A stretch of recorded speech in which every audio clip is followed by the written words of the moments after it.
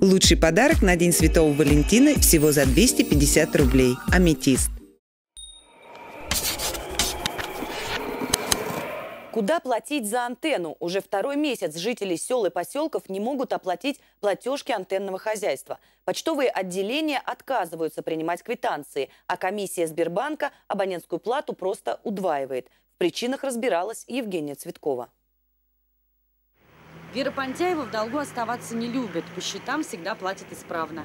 А тут вдруг стала должницей по неволе. Квитанции за антенну есть, а оплатить их негде. Квитанцию э, за антенну нигде не могу заплатить. На почте не берут, а э, в Сбербанке 30% берут. Для пенсионеров это дорого. 30 рублей? 30 рублей берут. Это очень дорого. Почтовых отделениях от антенных платежек отмахиваться устали. И на вечный вопрос, что делать, посылают клиентов в Сбербанк. Нет, не принимаем, так как расторгли с нами договор антенные хозяйства. Поэтому мы не берем уже как с 1 января. Вот. А клиенты спрашивают, можно или нет. Мы, естественно, отказываем им. Антенные хозяйства и почта не договорились по причинам государственным. В середине прошлого года был принят федеральный закон о госзакупках и услугах.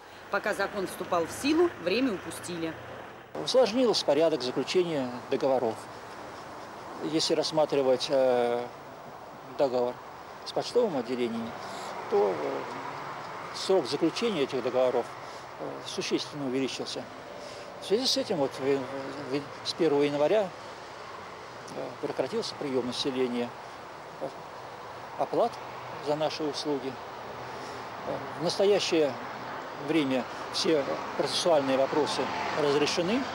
Договор с Почтой России практически подписан, так что платежки за антенну начнут принимать уже со следующей недели во всех почтовых отделениях района без процентов. Евгения Цветкова, Наталья Красавина. Новости дня.